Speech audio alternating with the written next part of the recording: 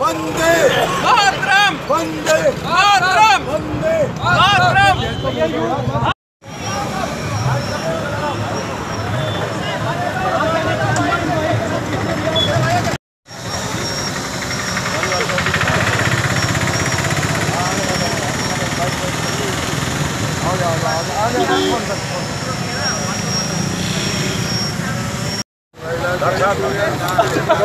थोड़ा पीछे थोड़ा थोड़ा थोड़ा सा पीछे।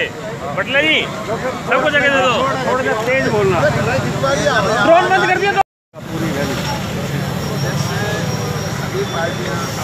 कर रही है।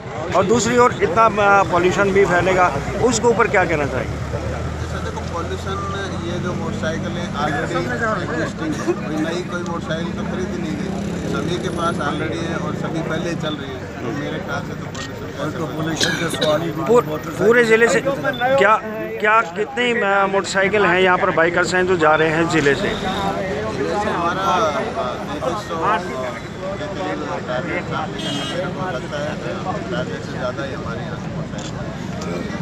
ही अनगिनत थैंक यू की। भारत माता की वंदे भारत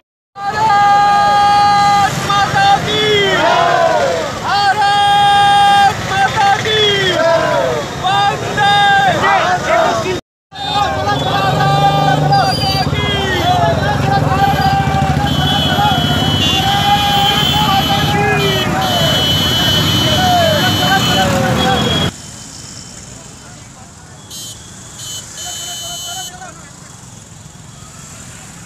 इस बाइक रैली हाँ जी। ये बाइक रैली माननीय हमारे राष्ट्रीय अध्यक्ष के स्वागत में और जिस तरह से रेवाड़ी में सैनिक रैली हुई थी और वो सैनिक रैली ने बहुत अच्छा संदेश दिया था पॉजिटिव और उससे भारतीय जनता पार्टी की बहुत बड़ी एक ज़मीन तैयार हुई।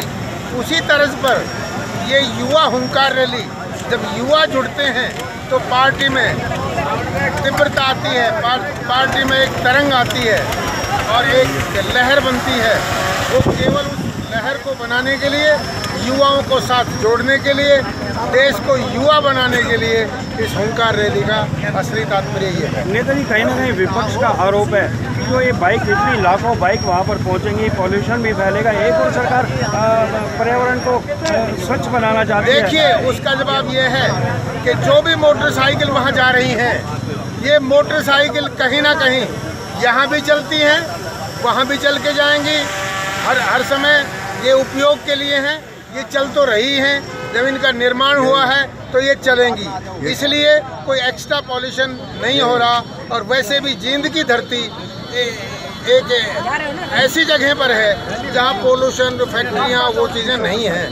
सुरक्षा को लेकर पचास हर पचास मोटरसाइकिल के साथ एक घट तैयार किया गया है। वो बिल्कुल सबसे बड़ा सबसे बड़ा इंतज़ाम सुरक्षा के लिए रखा है। मेरा तो ये मानना था कि प्रियोरिटी प्राथमिकता केवल सुरक्षा को होगी। सुरक्षा की होगी। पूरे ज़िले से कितनी मोटरसाइकिल होंगी यहाँ पर गुजारे जा रहे हैं? देखिए ये भव्य प्रोग्राम होगा और ज़्यादा से ज़्यादा मोटर जाएँगी। इसमें संख्या संख्या निर्धारित करना या कुछ कहना वो अच्छा नहीं होगा। गिन नहीं पाओगे इतनी इतनी जाएगी